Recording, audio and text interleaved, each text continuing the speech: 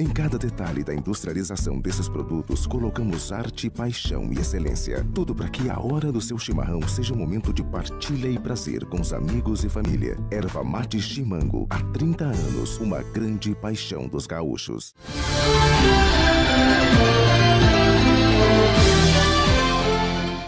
Na tarde do domingo 16 de setembro, apoiadores do candidato à presidência da República Jair Bolsonaro realizaram uma carreata em Tapes em apoio ao candidato.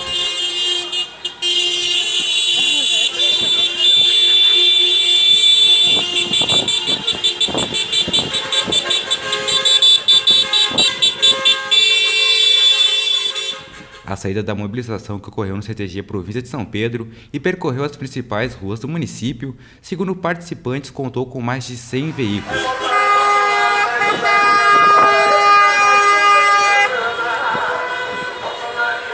O candidato à presidência da República, Jair Bolsonaro, segue se recuperando no Hospital Albert Einstein, em São Paulo, após sofrer um atentado durante um ato de campanha em Juiz de Fora.